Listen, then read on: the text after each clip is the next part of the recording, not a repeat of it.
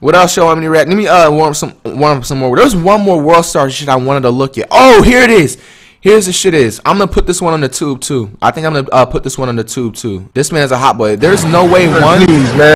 There's no way one before I even begin the video that this guy lives in Florida doing this, bro. Because Florida has the worst cops like ever. There's no way he lives in Florida doing this. Okay, so this dude is gonna be basically getting pulled over multiple times in different situations, and he's basically just gonna be skirting off, bro, like GTA style. Man, Please, man. Please, bro. Hey, officer! Oh. I'm legally blind! Mama, I love you! PLP, hold it down!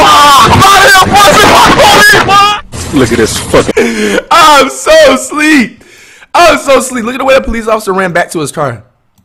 I mean, I'm not trying to be a bad influence, but if you do time it out right, do time it out right, you actually would be able to get away.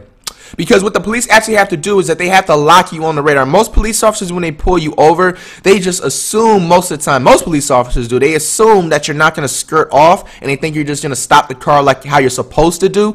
So they actually get sometimes too comfortable and they don't lock you in their radar or put you on the, you know, police radar shit. So, you know what I'm saying? You still have that chance to get away. Now, depending on his driving skills, Officer, different I'm legally blind! Mama, I love you! PLP, hold it down! I'm out of here, pussy! Fuck police, you're gonna boy! catch him. Look at this fucking foot. pussy. Hey, officer! This man's High savage, speed bro. chase or no? Hey, wait! pussy, police! Bro, like, how are these fat police officers getting hired, bro?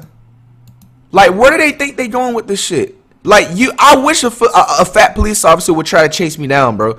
Like, I'm talking about on foot. Like, all the police officers, like, the shit that I had back in the past and shit that I had to run from or whatever, like, they were always skinny. You know what I'm saying? They were always fit. But I never got a fat one. Fat ones, bro. There's no way I fuck would let a fat motherfucking police officer catch me on foot, bro. Like I would literally have to like fucking apply an L to the rest of my life. I'm out of here, man! But I wonder if he ever got caught from all of those videos though. That man is wildin', son. Well, there we have it, flight crew. Now, if you are getting jammed up, you're about to get, you know what I'm saying, in a situation.